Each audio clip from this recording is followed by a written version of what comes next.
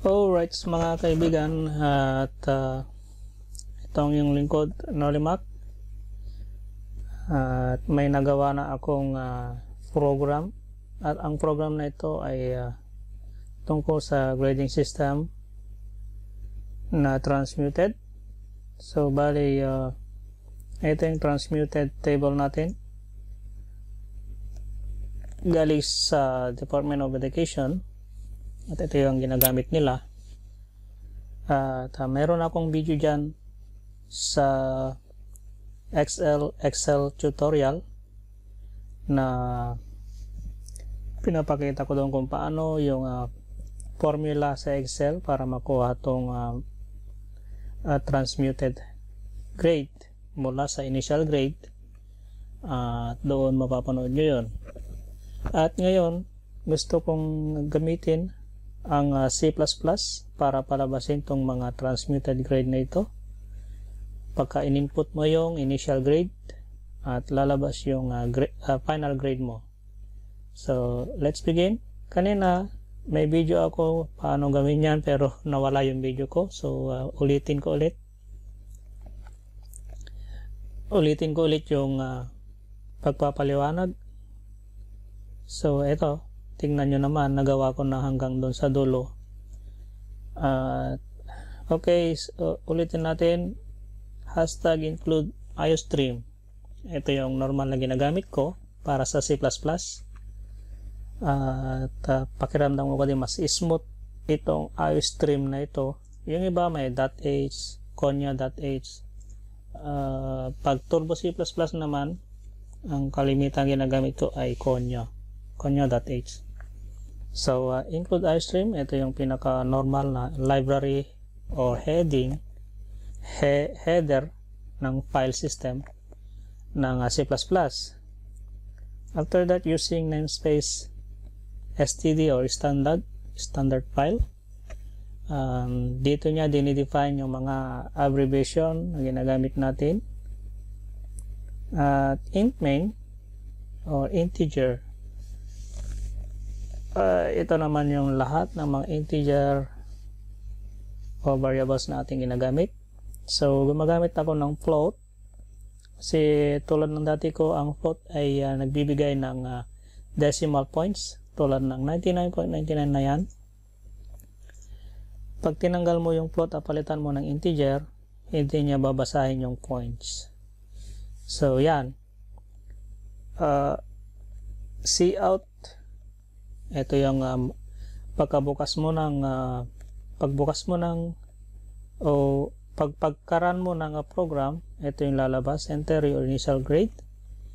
At uh, syempre pag in-enter mo na yung grade halimbawa eh 98.40 dito sa transmitted table inalagay mo dyan ang isisi ang ilalabas niya ay yung grade na yon transmuted sa table 98.40 ang grade mo ay 99 sabihin niya. Lalabas niya dito C out 99% so if ito na yung syntax natin or if statement. If grade ay is equal to uh, 100 ang ilal ang sabihin niya your final grade is 100% so tingnan niyo naman doon sa transmuted. Ang initial grade mo ay 100 100 din sa transmuted or final grade. So, uh, may second statement ako dito nilagay na ilalabas niya din sa program na okay, bravo, keep up the good work. So, yun. Ngayon, gumamit ako ng nested if else o else if para makuha natin lahat ito, itong mga grades na ito. At pwede if else lang kaya lang, ang itsura niyan ay kitanggalin natin lahat tong nested at iwan natin yung else sa dulo. Yan. Control X para mawala. So, ang program natin ay if else na lang. If, if, saka else na lang. So, uh, disregard na ito. Kasi kung lang yan, stay, uh, comment lang, hindi yan lalabas sa program. So, ang grade mo ay 11, eh, is equal to 100.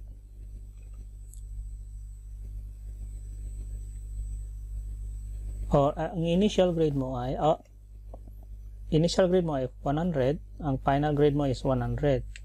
So, uh, other than that, kung hindi naman na-meet yung 100, ang grade mo ay 60%. At sasabihin sa'yo, what the fuck are you doing? You are failed. So, magraran pa rin yan. See? Okay, 100. Lagay natin 100 na initial grade. Your final grade is 100%. Bravo, keep up the good work. Uh, ang else naman, kung hindi 100 yung grade mo, halimbawa 99.99, your final final grade is 60%. What the fuck are you doing? You are failed. Sinabi niyang 60% pa rin kahit 99.99 yung grade mo kasi wala siyang ibang uh, kondisyon dyan kasi tinanggal natin yung nested if else or else if kasi ang gamit no gamit nung nested uh, else if ay uh, para ma-declare natin yun syntax or yung uh, ma-declare natin yung uh, kondisyon para ma-meet yung uh, inihingi niyang grades. Halimbawa to if ang kondisyon niya ay grade ay equal to 100 ang grade mo ay 100 din. So else if o else if ang grade mo ay 99.99 ang grade mo ang initial grade mo ay 99.99 ang final grade mo ay 99%. So, ganun yung uh, gamit ng nested else if. So, babalik natin yon Yan.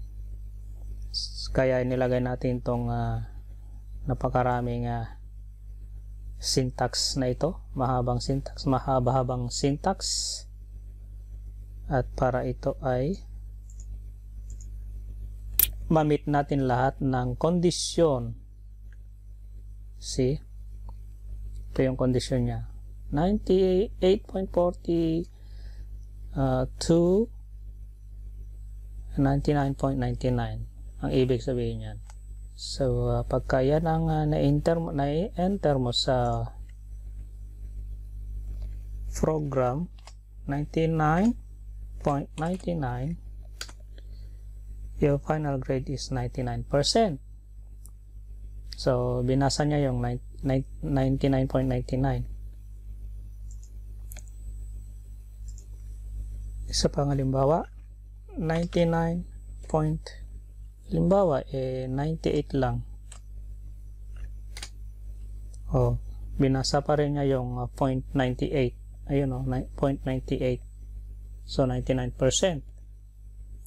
Hindi kagaya kanina na pag integer ang ginamit mo dyan at hindi float, hindi niya babasahin yung uh, points. So, yun yung difference ng uh, float at uh, integer. At yung difference ng if-else na statement lang at yung may kasamang else if or nested else if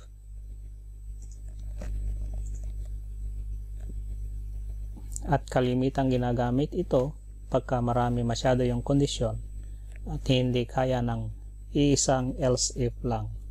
Ay hindi kaya ng if else statement lang. Uh, so that's it. Kaya maraming salamat sa inyong panunood at wala lang. Ito ay aking katuwaan lang. Naisip ko lang kasi yung uh, uh, Naisip ko lang kasi yung uh, tutorial ko dyan sa Excel uh, kung paano mag-compute ng uh, grading system. Makikita nyo yan sa uh, description ng video na to o ihanapin nyo na lang yung mga video ko how to uh, compute grades on Microsoft Excel at naisipan ko lang i-transfer o gamitin ang C++ para ma-compute yung grades. At ito yon ginamit ko yung if-else statement at else if or if else if nested else if. And alright that's it. That's all. At maraming salamat sa inyong panonood. Ito ang inyong lingkod Noli Mac. Kung may mga request kayo kung anong mga assignment nyo sa programming. Yung mga nag-umpisa pa lang sa programming siyempre marami kayong katanungan at pwede nyong i-comment at gagawin natin. Tuwing uh, linggo ay uh, gumagawa ako ng program.